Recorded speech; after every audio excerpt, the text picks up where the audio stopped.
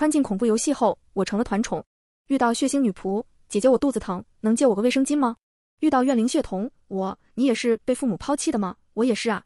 遇到游戏 BOSS 等等，你怎么和我爹长得一模一样？订阅恋恋推文，每天更新精彩完结文。正文现在开始。我爹失踪三年后，霸凌女夏薇对我越来越过分了。他来我家堵我，一边指使跟班打我，一边恶毒的骂我：“你爸爸彻底不要你了，是不是？”陈思思，你看你这种连父母都厌恶的家伙，就该去死才对。在他身后，小跟班们也不断附和：“是啊，你不是检查出抑郁症了吗？怎么还不去死啊？”跟班李笑更是一脸无辜的冲我笑，嘻嘻，期待在新闻里看见你哦。我捂着被踹的腹部，只觉眼前发黑，身体与灵魂在不断下坠。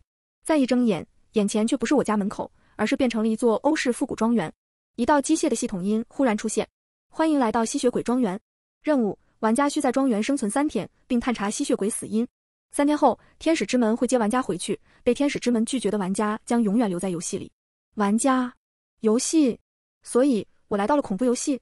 现在，请玩家前往庄园城堡集合。”机械声再次响起，我立马回神，简单观察了一下周围。我们离庄园外围很近。而它的外围就是一层层黑雾，周围不只有我，还有一个黄头发大叔，一个画着精致妆容的美女，一个面容冷静的中年男人，一个身穿西装，一看就是社畜的青年，还有三个老熟人，也是霸凌我的三人组，霸凌女夏薇和她的两个跟班赵江和李笑。一进到这里，霸凌者们就失去了那份趾高气昂。李笑笑不出来了，尖声道：“这里是哪呀？”夏薇脸色铁青，但还算镇定，至少没有崩溃。赵江就差远了，他看着阴森的古堡，打了哆嗦。随后便将视线投向我，是你对不对？你这个灾星，你做了什么呀？说着，他便扑向我，试图再次打我。我皱了皱眉，刚想躲开，就看那位美女姐姐不知什么时候过来，一脚把赵江踹开。踹完人，美女冷哼一声，敢在心理医生面前搞霸凌，找打吧你！与此同时，我注意到一排排弹幕状的东西在我眼前炸开。啊呀，程月还是那么有正义感啊，不愧是我们的月亮女神。程月是怎么知道这女生被霸凌了呀？心理学这么厉害吗？不是心理学厉害。是你月女神就是这么厉害喽？不过这几个学生看着是新人啊，新人一开始就过 S 级副本，就算副本里面程月和慕名这样的大神带，估计凶多吉少啊。什么月女神，上来就说别人是霸凌，真恶心死了。何况就算真是霸凌又怎么样？退一万步说，被霸凌的人就没错吗？就是就是，苍蝇不叮无缝的蛋，凭什么别人不霸凌别人就霸凌你呢？弹幕吵成一团，我却毫不在意，只轻声对程月说了声谢谢你。程月摆了摆手，示意不用。弹幕口中的社畜打扮的慕名催促道。程月，你快点，别耽误时间了。黄毛、社畜和中年大叔早就朝古堡方向走了，只是黄毛有些奇怪，走之前意味不明的看了我一眼。他们对眼前一幕接受度极高，让我推测他们都是老玩家。按照恐怖游戏一贯的设定，刚开始的提示一定是重要的，不遵守一定会出问题，不然老玩家也不会这么着急。程月点了点头，随后转头看我，小妹妹，一起走吗？我笑了笑，当然。我听见夏薇他们交头接耳，似乎是在犹豫，也听见赵江哆哆嗦嗦地道。什么恐怖游戏？什么生存三天？我看就是那贱人在故意吓唬我们。等我出去，一定要弄死他！说着，他便朝庄园外面跑去。他的身体刚接触到庄园外的黑雾，便发出一阵凄厉的惨叫声。啊啊啊！我错了，我要回去。然而不过片刻，他就发不出声音了。黑雾好似化成无数个刀片，将赵江削成了一团血肉。玩家赵江死亡，剩余玩家七。注意，玩家死亡数量增多会令 BOSS 提前出场。李笑看着那一团血肉，直接吐了出来。这到底是什么地方？报警！我要报警！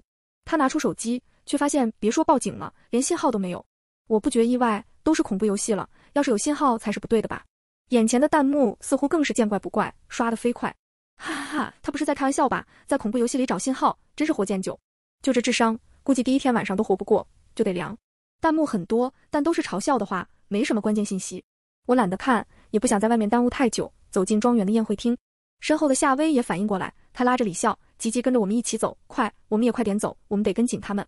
我清楚夏薇的德行，她绝不是好心帮助李笑的。果不其然，李笑颤抖着摇头：“我不要进去，谁知道里面还有什么？”夏薇阴沉着脸，毫不犹豫地扇了李笑一巴掌。李笑，我耐心有限，要不是你足够听话，你以为我想帮你吗？夏薇面无表情地往前走，想死你就在这死吧，我可没工夫陪你找死。赵江的血肉已被黑雾笼罩过去，看不见了。黑雾在动。吞噬着周围，李笑吓得连忙起身，使出全身力气朝庄园门口跑去。而此刻，黑雾也如同活过来似的，在他身后追赶。但他运气不错，如愿跑到庄园里面，只是被黑雾削去了半边头发和肩膀上的肉。黑雾被隔绝到大门后面，像是畏惧什么似的，不敢上前。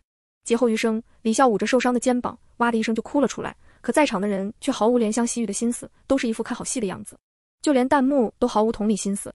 哎，这个叫李笑的刚进来的时候说什么来着？是让陈思思去死是吧？我记得还有一句，嘻嘻，期待在新闻上看到你哦。啧啧啧，西西姐现在怎么不嘻嘻了？是太疼了吗？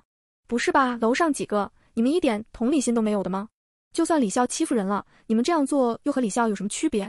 楼上你有病吧？你是恐怖游戏玩家，不是圣母游戏玩家，谁不知道谁啊？再说了，玩家又看不到我们的发言，你操的哪门子心？我眸光一动，玩家看不见发言吗？那为什么我却可以呢？难不成是我身上有什么触发条件？我垂眸想了想，却百思不得其解，于是便想观察一下老玩家的动向。想不到的话，就抄一下作业吧。可我刚抬眼，就见李笑恨恨地盯着我，都怪你陈思思，要不是你，我们根本不会被拉进什么游戏里，这都是你的错。刚经历了那样的恐惧，李笑有些崩溃，你这个怪物，怎么还不去死啊？我只是静静地看着他，刚想说什么，黄毛玩家就走过来。他嘿嘿笑着，都是玩家，搞成这样是做什么？要不你们跟着哥哥，哥哥带你们通关，怎么样？说着，他摸向我的手，哎呦，这胳膊上怎么都是刀疤呀？这可太不美丽了。话虽这么说，可我分明看着他眼中如同被什么点亮了一样，那是兽欲的光芒。我冷着脸拒绝，用不着。与此同时，程月一个眨眼便拉着我后退，嘴中毫不留情。死黄毛，别太过分。黄毛似乎不敢惹程月，所以哪怕他那眉毛都快气得飞出天际了，也不敢说什么。但很快，谁都不敢胡作非为了。宴会厅的蜡烛无火自燃，如同多米诺骨牌一般，一个一个点燃。一个身穿鲜红色衣裙的女仆走上前，她的头在断裂的脖子上一跳一跳的，嘴唇却咧得极长，冲我们笑着：“欢迎大家来到公爵的庄园，宴会即将开始，希望大家能够吃得尽兴哦。”话音刚落，宴会厅的一排排桌子上开始出现食物。女仆走近我们，她歪着头，嘻嘻笑着：“大家还不落座，是不喜欢吗？”她离我很近，近到我能看见她脖子上被刀砍伤的痕迹，近到我能闻到她裙子上的血腥味。那不是红色衣裙，而是被鲜血染红的衣裙。我皱了皱眉，倒不是因为害怕，而是眼前的弹幕似乎有些不对。出现了，出现了，是血腥女仆？不对呀，她不是 S 级 NPC 吗？怎么这么早就出现了？不对不对，这游戏分类怎么变成五 S 级了？坏了坏了！就连最高等级的月神和牧神才是 A 加级呀，这怎么打？我收回视线，坐在离我最近的位置上。有了之前的教训，就连胆小的李笑都安静落座，不敢生事，只能用怨毒的眼神盯着我。反倒是一切的始作俑者夏薇存在感很低，也是进了这种游戏，以他的脑子肯定知道什么才是对他最有利的。他绝对不想多个敌人，所以见李笑活下来了，还肯给几句安慰。我不是怕你争不过来吗？所以才故意用激将法的。他如实说着，李笑也成功把恨意完完全全的转移到我身上了。我没空理他们这些小心思，在恐怖游戏里活下去是最重要的。而且血腥女仆又在发放隐藏规则了。她道：“请大家好好享用晚餐，不然公爵大人会难过的哦。”玩家们闻言都把视线投在眼前的食物上。这时李笑忽然惊呼出声：“这纹身看着怎么那么像赵江？这是人的肉啊！”闻言，女仆忽然扭过头，她的头已经断了，所以是直接呈一百八十度转过去的。血腥女仆森森然地盯着他，所以这位小姐是对公爵的招待不满意是吗？李笑被吓得一个哆嗦，他连忙道：“满意，满意，我这就吃，我这就吃。”说着，他一边哭着，一边疯了似的把肉块往嘴里塞。女仆也终于露出满意的目光，这才对吗？大家见状也只能忍着恶心下咽，毕竟被 NPC 盯上可是真的会死的，恶心总比死要更好接受。除了我，我一打开餐具，就发现那里面赫然是赵江的头颅。他的眼睛、鼻子都血乎乎的摆在盘子里，甚至他的头发都在盘子里放着。我试探性的用餐刀敲了敲他的头，却依旧动不了口。我实在很难不恶心。我忽然感觉，或许死掉也不错。前不久刚好的抑郁症似乎又有些发作了。一阵阴风吹过，我微微抬头，便对上血腥女仆的脑袋。她咧着渗血的嘴，笑嘻嘻地问我：“这个小姐是对公爵的招待不满吗？”我平静地看着她，我肚子疼。话音刚落，眼前的弹幕就又成批出现了。不是这些人玩家怎么回事？第一天的任务都是有点恶心人，但只要完成就不会致命的。他在搞什么呀？就是就连月神和木神都得忍着恶心遵守规则，他上哪来的自信？哈 哈以为说肚子疼怪物就会放过他吗？搞笑呢不是？血腥女仆一愣，这还是第一次有玩家这样。她有些疑惑的问我，所以我说我来月经了，姐姐你有卫生巾没有？我或许需要一个。我笑笑，公爵大人应该会体谅女生经期的不易吧？血腥女仆正在原地，她沉默了一会儿，还是点了点头。虽然一个头隔空点着的画面似乎有些诡异，她还是应下了。那我我去找找。果然，这年头朝女鬼借卫生巾，女鬼都会借的。我如实感叹，余光瞥见弹幕也在此时炸开了锅。什么鬼？S 级 NPC 被个卫生巾打发了？这副本 NPC 怎么和闹着玩似的，没一点威慑力？血腥女仆动作很快，而我拿到卫生巾的时候，就顺便找借口前往卫生间。当然，我根本没来月经，甚至一直都没来过。我说那句话，第一点是为了解围，第二点嘛，就是为了能有时间探查探查庄园。被动的看 NPC 布置任务，我总觉得会离答案越来越远。我象征性的走进厕所隔间，将卫生巾塞在了口袋里。我甚至连这玩意咋用都不知道。厕所隔间居然有些收获，那里都是些涂鸦，大概讲述的是吸血鬼成为公爵的故事。涂鸦里的公爵，想必就是血腥女仆最终提到的公爵。也就是说，我只要查清楚公爵的死因就可以了。有了方向，我顿时松了一口气。但这口气还没松到底，我就差点惊叫出声。卫生间的坑里忽然露出一个被头发覆盖的脑袋，血色不断在水中蔓延，他的头发也在疯长，朝我的脖颈处攀爬。他则轻轻啜泣，呜呜呜！阿宝好孤单啊，姐姐，你是来陪我的吗？啊！这是怨灵血瞳啊！这是传说中杀了一个副本玩家的 S 级 NPC 吧？这个叫陈思思真是倒霉啊！以为不用吃东西很得意是不是？哈哈哈！怨灵血瞳直接送你去餐桌，好家伙，直接和开局那炮灰一起脸贴脸是吧？我身下怨灵血瞳抽噎着，呜呜呜！你怎么不说话？是不喜欢阿宝吗？他的声音陡然尖利。女巫姐姐说了，不喜欢阿宝的都得死。缠在我脖颈处的发丝立即收紧，好似下一秒便能勒断我的脖子。我微微蹲下来。温和地看着他，你也是被爸爸妈妈抛弃的孩子吗？我也是哦。发丝陡然一松，我将怨灵从水里捞出来。他张脸都被发丝笼罩着，可即便撩去他的头发，他满身的血污也让人看不清他的模样。我叹息一声，安抚性的摸了摸他的头。阿宝啊，人生是自己的，怎么能让自己这么狼狈呢？我一边说着，一边带他来到洗手池面前，我帮他洗清身上的血污，又帮他扎了个麻花辫。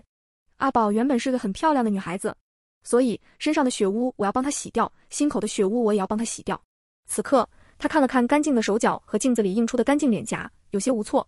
弹幕也炸开了锅，说了怨灵血瞳呢，怎么成这个画风了？啊！我要看怨灵屠杀，我要怨灵屠杀，这怨灵怎么这么蠢？这就被打发了？什么叫这么容易被打发了？你行你来上啊！一个 C 级的菜狗，给你扔 S 级副本，你连一个晚上都活不到，信不信？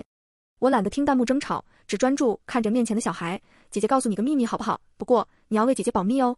怨灵阿宝乖乖点头。若不是他的身体不断渗出鲜血，看着就和普通孩童没什么两样。他显然也发现了这一点，原本平和下来的面容上又有黑气上冲。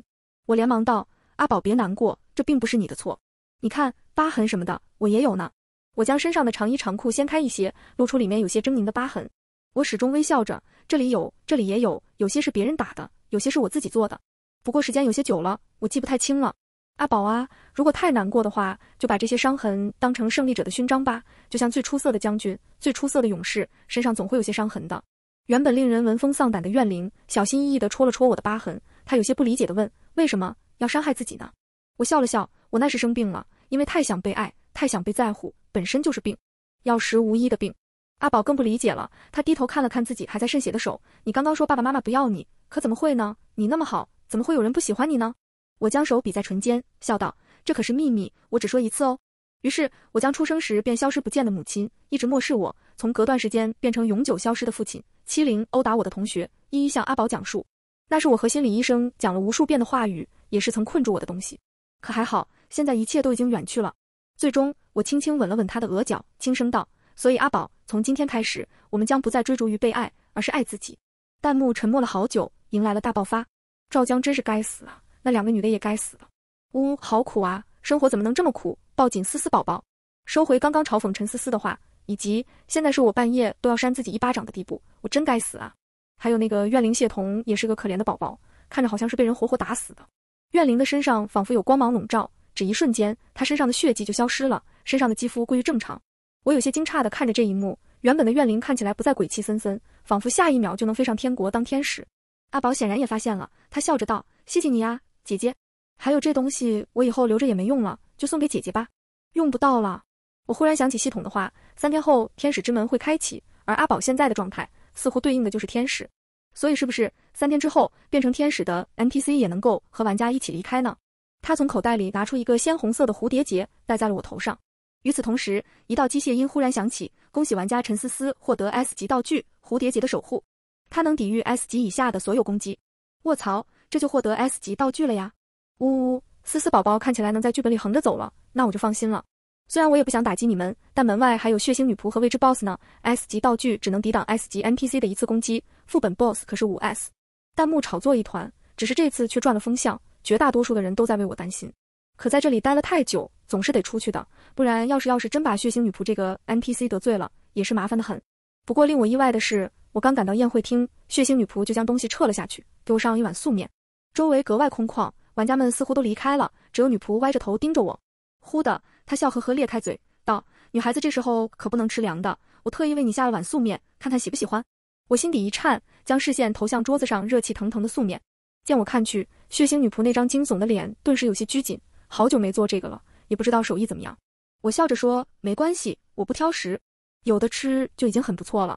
我坐上桌子，在一个诡异的世界里，收获着现实世界中许久都摸不到的温暖。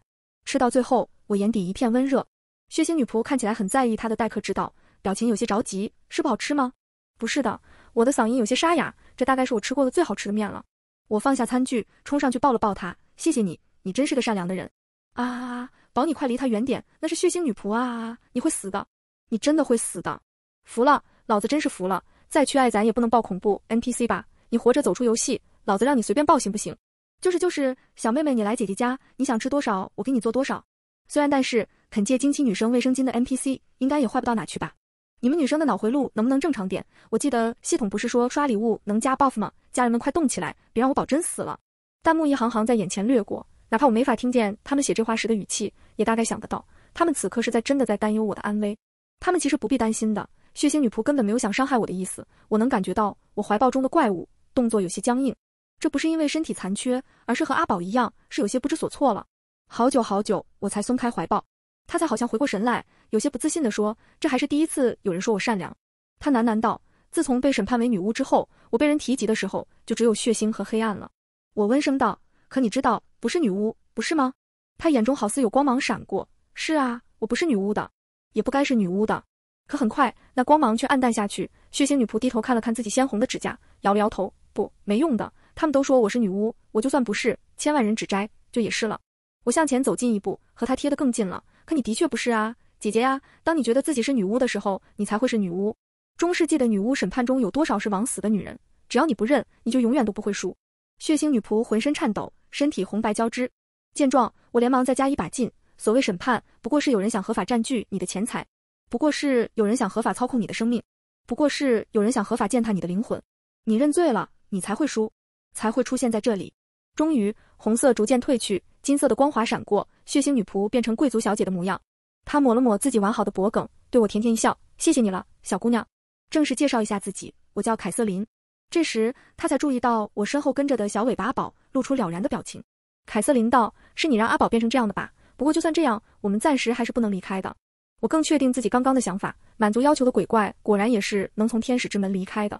我点点头，算了算时间，需要再待三天，又或者是两天多一点。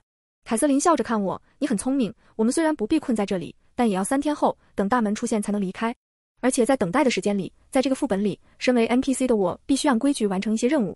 话音刚落，他叹息一声，苦笑道：“比如现在，我就得走了。”临走前，他似乎想到了什么，将一个古董手镯递给我。这东西就算是我谢礼了。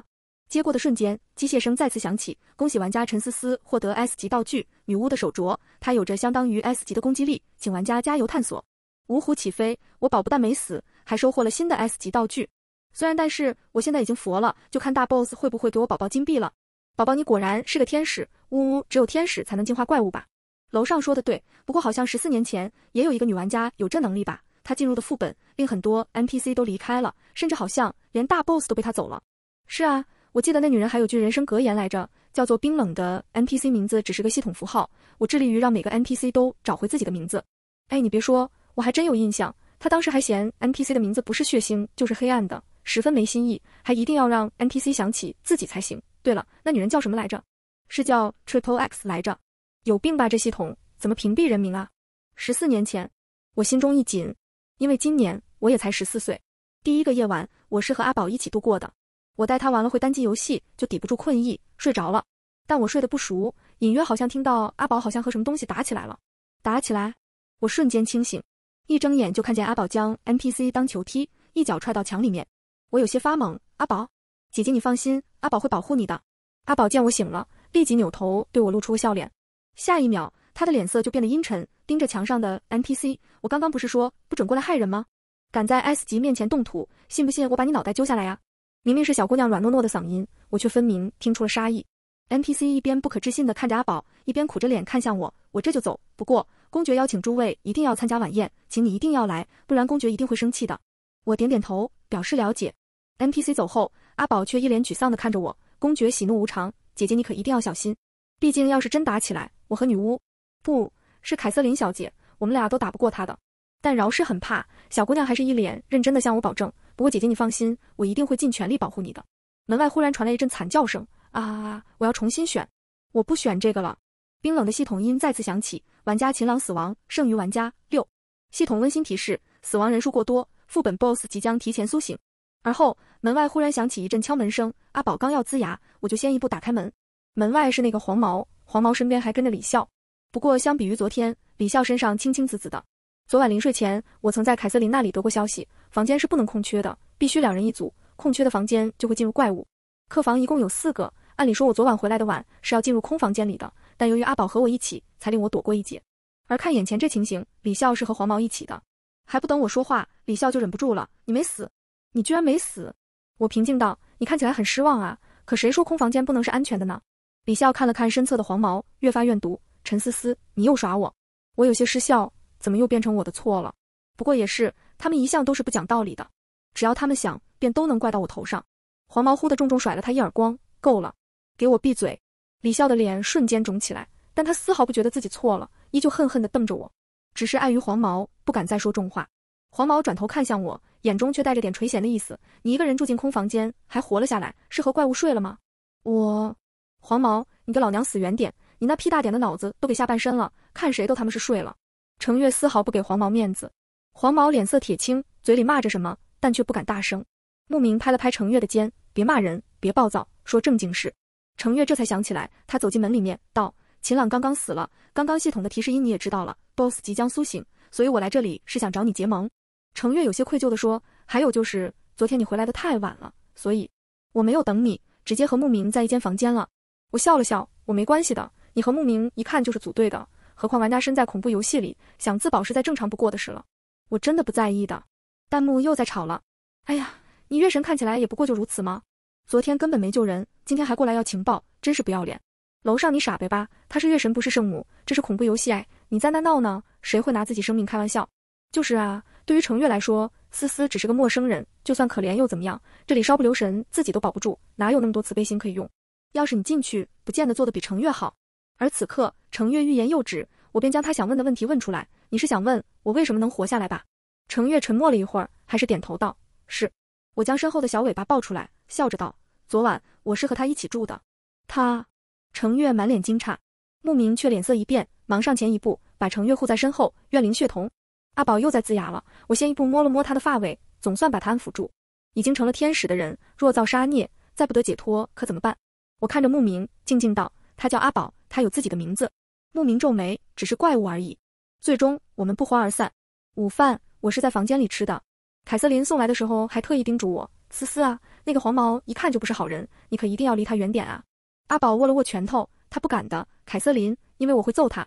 凯瑟琳这才放心下来，又叮嘱我晚宴的事情，大概就是千万别触怒公爵。我再三保证，凯瑟琳才放下心。很快就到了晚宴，NPC 们给玩家送来晚礼服。洛可可风格的晚礼服有着层层叠叠的裙摆，我费了好大力气才把自己挤进去。据凯瑟琳所说，晚礼服这样设计也有一部分原因是为了限制玩家行动能力，没人能带着这么大的裙摆快速奔跑。我并不在意这个，只是特意多要了一件小的礼服，因为要给阿宝穿。随着庄园钟声敲响，玩家相互落座，晚宴正式开始。慕名和程月依旧坐在一起，夏薇一个人坐在角落，李笑则和黄毛一起。而不知是不是我的错觉，李笑身上的伤痕看着更多了。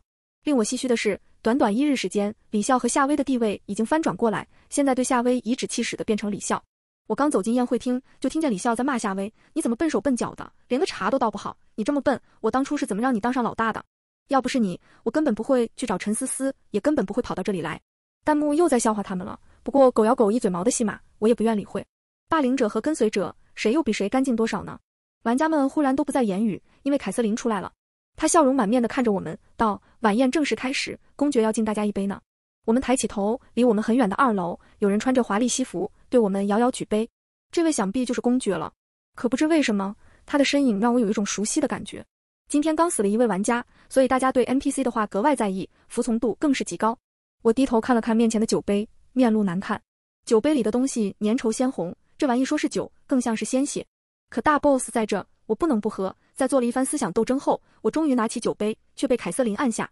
凯瑟琳如是对着公爵说着：“他不能喝凉的，会肚子疼的。”公爵抬了抬头，似乎第一次认真的打量眼前的场景。这时，黄毛忽然插嘴：“你这个女仆怎么回事？肚子痛就可以拒绝公爵大人的邀请吗？”黄毛一边盯着我藏在袖子里的胳膊，一边不怀好意的凑过来：“来来来，哥哥给你满上。”似乎不是我的错觉，这人每次看到伤口的时候便有兽欲涌动，所以他选择和李笑同住，就是因为李笑在第一天受了伤。果然，这家伙还真是个变态。眼见他要抓到我的手，我连忙嫌恶的放下杯子，把手缩回去。忽的一个杯子凭空出现，重重砸向黄毛袭向我的爪子。他那只手碎掉了，鲜血和杯中的东西一起流淌，分不清什么更多。我一转头就看见公爵如瞬一般来到我们面前，我目不转睛地盯着他看。虽然他的确很好看，但这并不是主要原因，而是他的面容长相和我那失踪三年的爹长得一模一样。是怪物在有意为之吗？据说怪物会根据人心底的弱点来幻化形象，这样玩家就会放松警惕，被害了性命。我正愣在原地，看着他走到我面前。我靠，五 S 级 BOSS 他出现了！啊，我的宝，你快喝酒，千万别犯错，再恶心咱都得挺住。思思宝宝，快别愣着了，再一会你人都要无了。我我敬你！我陡然一惊，终于反应过来，拿起酒杯，却再次被人按住。这次按住我的是公爵。公爵静静道：“未成年人不能喝酒。”哈，这就完了？什么情况？还未成年人不能喝酒？什么时候恐怖游戏也这么人性化了？弹幕显然比我更疑惑。但眼下吗？我也只能放下默默酒杯。公爵面无表情的又补了一句：“给他的酒杯收走，凯瑟琳，别让他偷喝。”可他刚垂下头，就看见我餐盘里那些血乎乎的东西，所以他很快再次补了句：“把这些玩意丢了。”凯瑟琳应下，飞快的把我眼前乱七八糟的东西给撤了。而后，公爵转向黄毛，依旧面无表情：“你很喜欢喝酒是吧？”我我我，黄毛还没从断手的痛苦中缓过来，他面容扭曲的回应着公爵，却磕磕巴巴的说不清楚话。公爵皱了皱眉：“所以就是不喜欢吗？”见状不好。黄毛拼命咬了咬牙，忍着剧痛道：“不，我喜欢，我很喜欢的。”公爵点点头，轻飘飘地道：“那你就把这里的酒都喝干净吧。”凯瑟琳，再给他拿一些。说着，他还不忘好心叮嘱：“你要快点喝完，不要耽误我们的舞会。”恶人受成，我自然要当个笑话来看。我好整以暇的看着他喝酒，公爵却忽然转向我：“你很开心？”我心中一紧，顿时有些傻眼。也难怪凯瑟琳说他喜怒无常。看着他和我爹如出一辙的面容，我脑子一抽，张口就来：“我我。”可以开心吗？公爵却没难为我，只转头看向凯瑟琳：“你怎么只把东西送回去，不拿点东西过来摆？拿些点心和糖，小孩子爱吃那个。”不知是不是我的错觉，我居然在大 boss 那波澜不惊的语气中听出了几分埋怨的意思。于是凯瑟琳再次被迫跑腿。经过公爵这么一番操作，剩余的玩家已经傻眼了。程月和牧明经历的多，只觉得是 NPC 开始抽风，可毕竟是 S 级副本 boss，他们是不敢轻举妄动的。我注意到。夏薇不知和李笑说了什么，李笑就装作一副怯生生的样子过来。我我也可以要一些吗？说不定那什么糖和点心就是通关的关键道具呢。既然陈思思能得到，那么他应该也可以吧？刚刚夏薇也说了，说不定这 boss 是对未成年情有独钟呢，就和黄毛一样。谁料公爵却有些疑惑地问：“你是谁？我为什么要给你？”可更离谱的是，他忽然转向我问：“我应该给他吗？”我啊，他又问：“你想让我给他吗？”我摇了摇头。于是他点了点头：“嗯，不给。”你没有，我，我觉得吧，他可能真是我爹。什么情况啊，各位？你们见过 boss 这么明显的偏袒吗？没见过，没见过，没见过。加幺零零八六，不对呀，思思宝贝什么时候把 boss 拿下的？别问，问就是你尤其女儿黛玉。宴会厅里忽然响起歌声，舞会要开始了。而黄毛用了无数保命道具，终于在舞会前喝完了全部的酒。他喝了太多，那肚子看起来简直要鼓了起来，这让我怀疑他待会根本跳不了舞。黄毛缓过神便，一脸怨毒地看着我。可饶是他想破脑袋，也不明白怪物为什么会忽然发难。黄毛便只能把一切原因归结于我了。毕竟去恨弱者，永远比恨强大的人容易。所以舞会一开场，他便走到我面前。我知道他想拉着我跳舞，可我还没说什么，一个面具人就把他截住。这位先生，你今天的舞伴是我哦。我才发现，偌大的宴会厅里忽然冒出许多面具人，他们穿插在玩家中，邀请玩家跳舞。为了遵守规则，黄毛只能忍住不耐和要刀掉我的心思。将手放到面具人手上，可下一刻，面具人忽然嘻嘻一笑：“先生，你的手好脏啊，这可怎么跳舞呢？”面具人轻轻抬了抬手，黄毛的胳膊便被直接扯断，嘻嘻，看起来你跳不成舞了。面具人一边嬉笑着，一边引入黑暗中。黄毛只能一边又惊又惧地捂着伤口，一边拼命拿出保命道具医治自己。公爵忽然开口：“我们也该跳舞了。”看着黄毛的下场，我心中一惊。可看公爵目前的表现来看，我觉得他应当不会对我做什么。但朝舞池望去，玩家都在和 NPC 跳舞，所以显然这也是游戏的程序之一，是玩家和 NPC 都要遵守的程序。所以我欣然答应。唯一不妙的是，我并不会跳舞，所以踩了公爵很多下。舞会结束的时候，公爵一直在叹气。他道：“我踩了我二十七。”我看着他，那我会被惩罚吗？他重重点头：“会，就罚你今天睡个好觉。”可他话音刚落，我便察觉身体有些不对，我腿间一片潮意，肚子坠着发疼。我没有过这样的经历，但大概猜测似乎是女生的初潮来了。公爵的脸色有些不妙，看着有些僵硬。我猛然想起昨天在隔间得到的信息，公爵就是吸血鬼，难不成吸血鬼对这也感兴趣？我吓得连忙后退一步。凯瑟琳似乎也发现不对劲，连忙跑过来解释：“这孩子他他不是故意的，大人你别生气。”说着，他欲哭无泪地看着我：“思思啊，我不是给过你卫生巾了吗？怎么还是搞成这样子？我知道了，是不是阿宝故意捣乱了？等我逮到他，一定让公爵好好把他揍一顿。这又关阿宝什么事？”我生怕波及到他，连忙道：“不是他，是我，我不会用。”我垂下双眸，没去看公爵。我妈妈在我出生时候就不要我了，爸爸也失踪了很长时间，没人叫过我的。凯瑟琳一边去看公爵的脸色，生怕公爵生气，连忙道：“那也是你的错，做错了事就要被惩罚，快和我走，我要惩罚你了。”公爵却拦住他：“不是我的错。”凯瑟琳顿时愣在原地。接着，我察觉到有什么东西屏蔽了公爵说的话，玩家们听不见，弹幕也看不见，但我和凯瑟琳离他很近，所以听得真真切切。是我这个做爸爸的错。眼中有泪意上涌，原来爸爸真的是恐怖游戏的 BOSS，他不是不是丢下我了。凯瑟琳在今天履行了妈妈的职责，她在教一个未成年女生解决初潮。我很庆幸系统还是讲究点人权的，这段没给那些弹幕玩家推送，不然我就真一点隐私都没有了。我出来的时候，舞会彻底结束，大家开始分配房间。线下我们有六个人，两人一间的话，怎么都是够分的。见我来了，黄毛扶着断掉的胳膊，指着我：“我们今晚一间，怎么样？我是老玩家呢，跟着我。”你又不吃亏，我还没说什么，李笑却慌了。哥，昨晚不是还和我一起吗？今天怎么就变了？他死死拉着黄毛的袖子，眼中满是对求生的渴望。今天是第二晚，刚刚血腥女仆还在说，就算两人一间也会出现问题的。没有你，我可我可怎么办啊？黄毛不留情面的甩开他，你爱怎样就怎样，关我什么事？就在这时，阿宝笑嘻嘻的走过来，不好意思，打扰你们一下哦。他道：第一，思思姐姐今天要和凯瑟琳一间房；第二，六个人，但你们还是要住四间房呢。言下之意就是一定会有两个人和鬼怪一起住了。很显然，其中一个是我，另一个吗？就留给他们去选了。夏薇脸色一变，他看了看黄毛，又看了看程月两人。夏薇还是选择向程月求助，他用一贯的无辜模样装委屈。在学校时，我曾领教无数次，每次他欺负我之后，老师追查时，他就会摆出这样的姿态。夏薇道：“姐姐，你和哥哥都是老玩家，所以求求你们，求求你们，随便一个人和我一起吧。”夏薇不断哀求：“你们是有自保能力的，可我不一样。”我真的会死的呀！不行，程月刚有些松动，但想起早上的事情，还是摇了摇头。夏薇不可置信地看着他，似乎没想到程月会拒绝的这么干脆。在求生的欲望下，夏薇忍不住道：“你怎么能这么自私呢？你是老玩家呀，你和我不一样啊！”程月冷着脸道：“是不是没人告诉过你，不要在心理医生耍心机呀？”见他还不死心，程月索性把话摊开说：“昨天你不是也和一个老玩家组队了吗？可今天早上你还不是在 NPC 送早餐的时候故意摆了他一道？”害他送命，你既然害了自己队友，就该承受没有队友的代价。这是你自己选的路。夏薇顿时崩溃了，他喃喃道：“我没有故意害他，我只是想试试他的实力。我不知道他真的会死的。可他有几分是不故意的呢？我想，怕是一分都没有吧。以他一贯的作风，一定是装无辜扮可怜，先挑了一份看起来最安全的食物，然后让那个叫秦朗的中年男人打开了。夏薇见程月这边无望，只能目光转投牧民。哥，求你。夏薇的话还没说完，就被牧民打断：“你别想了。”我只会和程月组队，弹幕又在飘了。不过这次弹幕的画风有点不一样。磕到了，磕到了，家人们谁懂啊？在恐怖游戏里磕到恋综 CP 了。呦呦呦，我只会和程月组队，这翻译过来不就是非咱们月神不可吗？木月 CP 是真的，哈哈哈！木月 CP 果然是真的，嘿嘿。第一次在恐怖游戏里磕 CP，需要注意什么呀？当然是注意你的 CP 别毙。恐怖游戏里的生离死别可太多了。想当初我就磕 Triple X 和，真离谱。美女的名字怎么又被禁了？走投无路的夏薇就只能求助黄毛，但黄毛却摆了摆手，还把他甩开老远。第一个选的就不是老子，老子是你的什么备选吗？给我滚！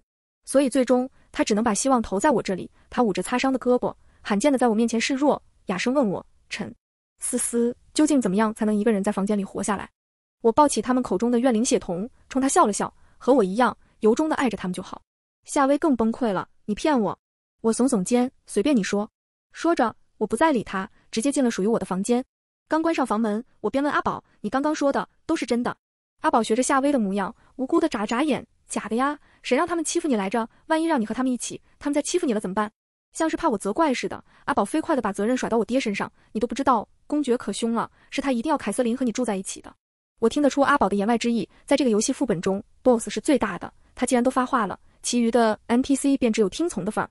凯瑟琳似乎很忙，隔了很久才进这间屋子。阿宝见他回来，才依依不舍地离开。透着窗户，我能看见外面的黑雾。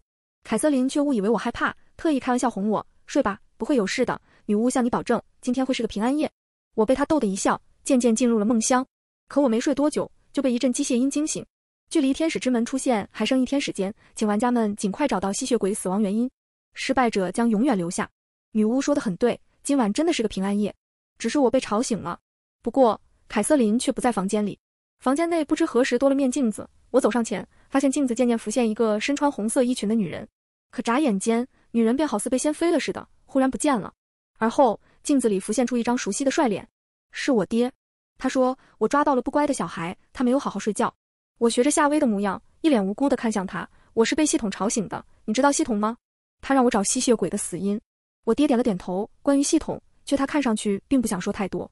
他想了想，还是问我：“那你找到了吗？”我说：“你没死，所以没有死因。”公爵大人十分严谨地点了点头。对，然后呢？这就是答案，不是吗？于是我就看见我爹勾了勾嘴角，轻轻笑了。我也想笑，但我笑不出来，因为就在答案脱口而出的刹那，系统来了个全员播报。整个庄园都游荡着系统那冰冷的机械声。恭喜玩家陈思思获得最终线索，请其余玩家继续努力，努力，努力你个头啊！我这不是成活靶子了？哎呀，狗系统还是那么狗啊！还来了个全员播报，你告诉他们明抢多方便啊，多新鲜呢！我月神和木神还用抢啊？对对对，你 CP 最厉害了。弹幕总是能在各种角度上吵起来了，某种程度上还是挺搞笑的。我从一一行行弹幕中收回视线，笑着看向镜子，却发现某人再次消失了。我顿时收敛笑意，也没什么心思看弹幕了，直接倒头就睡。反正明天也只需要等天使之门出现了，没我什么事了。但我还是没能如愿，毕竟今晚睡不着的人太多了。睡了没过多久，天刚蒙蒙亮，敲门声就响了。凯瑟琳会在清晨准备早点，来的人就是掐准了这一点。来敲门的是李笑，他在门口问我答案究竟是什么。陈思思，你说话呀！我不想理他。他就敲个没完，我只能打开门，困得半睁着眼睛看着他。李笑脸色发青，身上的伤痕更多了，他的裙子上还有印着血痕，看上去难得一见的可怜。可门外不止他一人，还有黄毛，他冲我咧着嘴笑，满是不怀好意。小妹妹，哥哥劝你最好说清楚啊！我皱眉不语。李笑见状，立马急了。夏薇说了，在游戏里做错事是不会承担责任的。哥，他既然不说，你就随便玩吧，不让他吃点苦头，他是不会说出真相的。说这话时，李笑目光闪烁。当然了，这份提议也有李笑的私心，他想让陈思思和他一样痛苦。凭什么都是一样？在恐怖游戏里，他陈思思就不用受这样的苦？他凭什么能不受伤害？又凭什么能活下来？说的对呀！黄毛笑嘻嘻的，用仅剩的一个胳膊开始拽自己的裤子。我按了按手镯，刚想用道具进攻，面前的镜子却忽然冒出一个人来。是了，传说故事里吸血鬼是会瞬移的，何况都是恐怖游戏了，游戏 BOSS 从镜子里走出来，看起来也不奇怪。不过眨眼间。黄毛就被掀飞在墙上，力道之大，令他整个人嵌在墙里。我爹面无表情地转向我：“你喜欢他吗？为什么他要这样做？”看着他面无表情的样子，没由来的一阵委屈涌上心头。你呢？你又凭什么这样问我？我质问他。公爵大人愣在原地，生平第一次看上去有些无措。可我却不依不饶。别人家的小孩都有家长开家长会，可我没有。他们都说我是没人要的小孩。我脑子一片混乱，说的话也是断断续续，没什么逻辑的。我只觉有些话不吐不快，有些难过压在心里太久，今日也算沉冤得雪，能在他面前说个干净。你从来都不肯关心我，总是这样的态度。妈妈也不爱我，我从来都没见过她，我甚至不知道她的名字。你现在倒是来管我的闲事了，可我被骂的时候你不在，被打的时候你也不在。我很喜欢穿裙子的，可我身上都是疤，好丑好难看，我就不敢喜欢了。我只能穿长衣长裤遮着。爸爸，我那时候好疼好疼啊！被按在马桶时候疼，被木根打的时候疼，被刀子划的时候也好疼。我也反抗过的，可我一个人打不过他们，我的头就一次次被按向马桶，我的身体被一次次按着践踏。我疼的时候就想见你，可三年了，每一次每一次你都没有来。说着说着，我已泪流满面，而泪水模糊间，我看见对面的人眸中也有泪水划过面颊。原来在恐怖游戏中的怪物也会哭呢，这是怎么了？天使之门马上就要开了，我本来想着让思思临走前吃点好吃的呢，怎么现在？凯瑟琳刚一回来就发现气氛不对，可她还没想明白，阿宝就不知从哪冒出来，率先开口：“公爵大人，思思姐姐被她爸爸丢下了三年，她受伤了都没人管，很可怜的，你就不要和她一般计较了，好不好？”阿宝这个鬼灵精上来就帮我卖惨，顺便恰到好处的掀开我的衣角，露出里面狰狞的伤痕。凯瑟琳见状也悟了：“公爵大人，你抱一抱思思好不好？你抱一抱，哄一哄她，她就会原谅你了。”我吸了吸鼻子，而后就觉自己被环入一个冰冷的怀抱中，冰冷却又温暖。是我的错，我很抱歉，我的女儿。她在我耳边轻声道：“可是孩子，你要相信，爸爸妈妈很爱很爱你，比爱我们自己还要爱你。至于欺负你的人，爸爸会帮你处理的。”最后一句话，他的声音分明带了几分狠厉的味道。阿宝见状，又开始操作了。他毫不犹豫地指着刚刚公爵一出现就在地上瑟瑟发抖的李笑：“他。”就是他打思思姐姐的，他刚进入游戏的时候就想打思思姐姐了。还有他，这个在墙上的这个家伙，好几次他都差点要欺负思思姐姐了。我爹点了点头，他那冰冷的手边捂上我的眼睛，他轻声道：“乖，别看。”玩家李笑死亡剩余人数五，玩家黄天死亡剩余人数四。那两人的死法我没看见，等我睁开眼睛的时候，房间连个血块都没有。但我知道他一定为我报仇了。还有还有一个呢，还有一个就在隔壁的空房间，他可是主谋。小告状精阿宝在线操作，可就在这时，系统的冰冷的机械声忽然响起：“天使之门已打开，恭喜夏威玩家通关。”阿宝顿时蔫了，不可置信道：“啊，他他跑了，跑就跑了吧。”我满不在乎，过去的经验告诉我，不能太执着于恨那些人了，因为到最后困住的、不得解脱的，只会是我自己。我爹却有些不满意，他声音发狠：“没关系，总会再遇见的。”他忽地转向我，轻轻摸了摸我的头发，温声道：“但是思思，你也该走了。”我心中一颤，含着刚刚未尽的泪花看着他。可我不想一个人了。boss 大人拿出生平难见的耐心，哄自己的女儿思思。看到外面的黑雾了，和之前的面具人了吧？你若在庄园外死亡，会变成黑雾；若在宴会厅死亡，就会变成面具人。思思，你和我们不同，如果留在这里，只会变成没有神智的傀儡。所以听爸爸的话，可以吗？我们总会相见的。我泪眼模糊，那你保证？他便笑着对我说：“我保证。”我准备脱离世界了。和我一起脱离的还有阿宝和凯瑟琳，他们对外面的世界很向往。临走前，我爹千叮咛万嘱咐，让凯瑟琳一定要好好照顾我。对了，我还告诉了程月牧民答案，所以我们是一起出发的。神奇的还有一点，只要我爹表明和我的关系，弹幕就仿佛自动屏蔽了似的，所以他们只能看见 BOSS 莫名其妙出来保护我，并且直接杀了欺负我的人。所以在他们口中，BOSS 已经被我征服了。我们从好好的父女关系变成了奇奇怪怪的关系，让我苦笑不得。苦笑不得间，我进入了天使之门。回到一切开始的地方，我家门口。这次凯瑟琳和阿宝在我身侧，但我爸爸却不在。他果然是个大骗子。恐怖游戏大 boss 带娃番外订阅练练推文，每天更新精彩完结文。正文现在开始。清月没来得及交代太多，就把孩子给我了。怪物诞育生命是个很神奇的事情，它是那样小小的、弱弱的存在。清月说孩子很脆弱，所以我一边查人类的资料，一边小心翼翼地带孩子。我连触碰都要小心，生怕把它碰坏了。孩子真是个麻烦的生物，每隔几个小时就要喂奶。幸好我是怪物，我能包容他。我查了人类的书籍，好像这个时间段要和小孩沟通说话来着。可我不喜欢说话，嗯，但我喜欢他，所以还是学一学吧。他叫我爸爸了，今天真是个美好的一天。但我没高兴多久，今天思思出去跑步，不小心擦破了皮，她哭了，转头看我要抱抱。那一刻，我觉得心脏的位置好疼。书上说这种感觉叫做心疼，奇怪，怪物也会心疼吗？好像上次有这种感觉。还是因为清月，什么来着？有点想不起来了。只是怪物现在有点想哭。